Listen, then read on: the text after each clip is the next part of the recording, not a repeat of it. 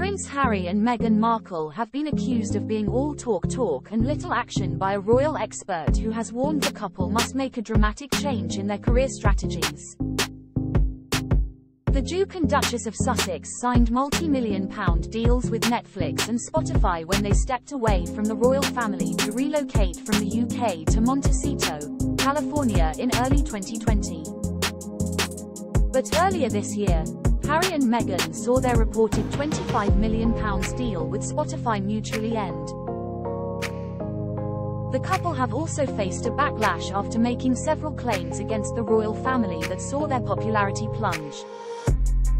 Royal expert Kinsey Schofield now believes Harry and Meghan have to put their money where their mouth is to rebuild in 2024.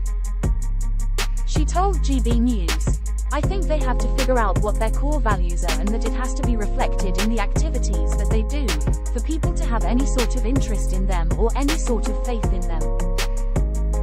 Follow Daily Express US get all the latest news, entertainment, sport and lifestyle updates from our dedicated American team. Follow Daily Express US on Facebook and Twitter at Express US News. You can't say upon leaving the royal family that you're going to live a life of service and then spend a significant amount of time on reality television for Netflix and Oprah Winfrey.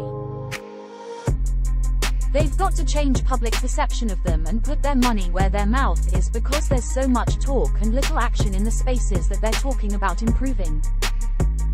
It's a fundamental lack of authenticity and people see straight through that and there's nothing that they can do unless they start to put their money quite literally where their mouth is and do some real genuine stuff that isn't all red carpets.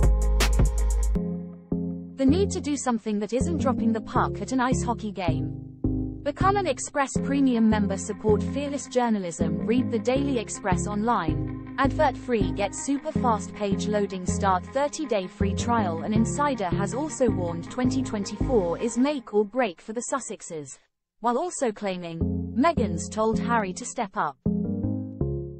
The source told Heat magazine. So far it's been her doing the lion's share of the networking, and Shush stressed. Largely because so many deals have fallen apart. She wants to take a step back and feels it's time for Harry to get his game face on.